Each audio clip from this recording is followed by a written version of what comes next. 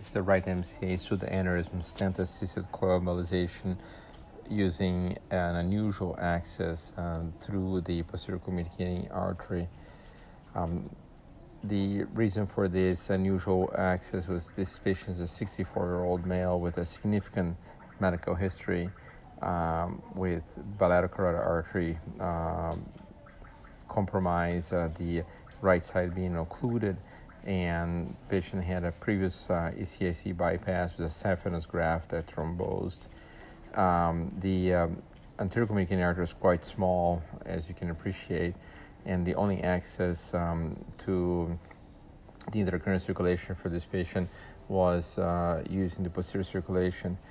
Um, the patient started to develop uh, headaches and um, on uh, workup showed to have to have a new newly diagnosed right MC aneurysm that could be related even to the suture line of the previous bypass.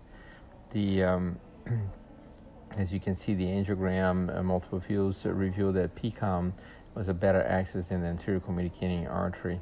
So we, we decided to um, proceed with uh, a stenting coil treatment of uh, this uh, right MC wide neck aneurysm using an SL10 and a synchro wire and navigating through the posterior circulation into the posterior communicating artery retrograde and uh, getting access to the um, M1 uh, in this uh, position is uh, somewhat uh, tricky. Uh, the catheterization of the PCOM is something that was um, likely easier, easily done because of the occlusion of the right ICA, so making it become um, more dominant.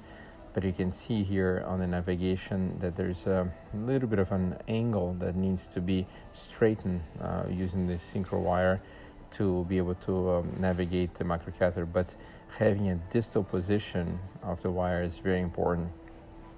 And as you can appreciate one cannot visualize very well the anatomy of the middle cerebral artery as you're advancing the wire to give you more support and so it's very important that uh, once you're able to have enough wire purchase and safely navigate the wire you can then uh, uh, make the microcatheter uh, go around the band of the posterior communicating artery from the P1 position. But uh, once you are into the um, anterior circulation, it's very important to repeat the roadmap and from the microcatheter so you can then see the anatomy very well. At this point, it becomes relatively straightforward uh, in the case that you can uh, navigating to the M2 and proceed to uh, deploy, in this case was an LVIS Jr. Uh, stent from the uh, M2 to M1 to protect this white neck aneurysm. Um, needless to say, this patient has been fully heparinized in ACT of 250 and is on uh, on dual antiplatelet. Um, but you can see that um, uh, this navigation now becomes relatively straightforward. Uh, one has an option to use an intermediate catheter, which could be uh, provide more support. Uh, but in this case, we um, were able to make this relatively low profile with a six French uh, guide catheter and a um, SL10 microcatheter to be able to get the full uh, access to this lesion.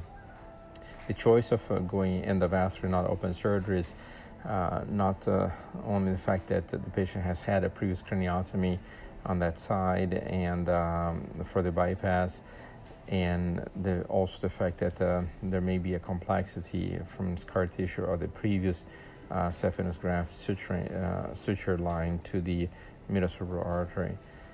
The um, uh, the advantage of using this system is that uh, you can use the same microcatheter to do the stent deployment and you can see here the stent was uh, fully deployed. Now you can advance the catheter into the uh, stent uh, using the delivery system uh, or delivery wire.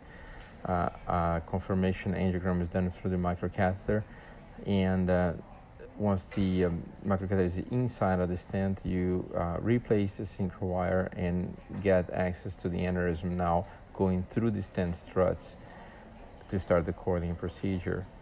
The advantage of using uh, this uh, type of um, uh, construct is that uh, uh, now we have complete support at the neck of the aneurysm so that the coil um, procedure can be somewhat undersized so that we have an easier time not having catheter kickback and so forth. Here it's really important technical aspect, which is uh, the wire um, is uh, has to have a good purchase inside of the aneurysm, and at the same time uh, the microcatheter has to freely navigate. And you can see as it's advancing um, forward, is a, there's a little bit of a, a, a jump that has to be controlled and carefully done. But if there's any resistance uh, on the navigation of the microcatheter through these 10 struts, one has to reposition the wire and try a different path. Now the coiling is done relatively simply uh, without uh, um, any challenges uh, since you're um, providing somewhat of a uh, uh, you have a support from the LVIS Jr. Um, at the neck of the aneurysm and the coil is um, about one millimeter undersized. Second coil is going in, uh, trying to keep um, the microcatheter in position and avoiding uh, being kicked out so that uh, the procedure can be efficient. And um, after uh, the uh, first um, coil is placed, we tend not to use a roadmap and just uh, use fluoroscopy, as you can see. The runs are done basically through the microcatheter to confirm the occlusion of the aneurysm. And uh, in this case, uh, due to the um, uh, presence of a stent and the coils, we have the aneurysm having still some residual filling, but with a very good um, reconstruction of that area. This is likely to thrombose um, since the um, main flow through the carotid artery is um, occluded and this is all filling from the posterior communicating artery. Uh, we hope that this video uh, was helpful to understand a uh, option of using the, the, posterior communicating artery as a retrograde access uh, to coiling of anterior circulation aneurysms in the case of challenging anterior circulation anatomy. Thank you.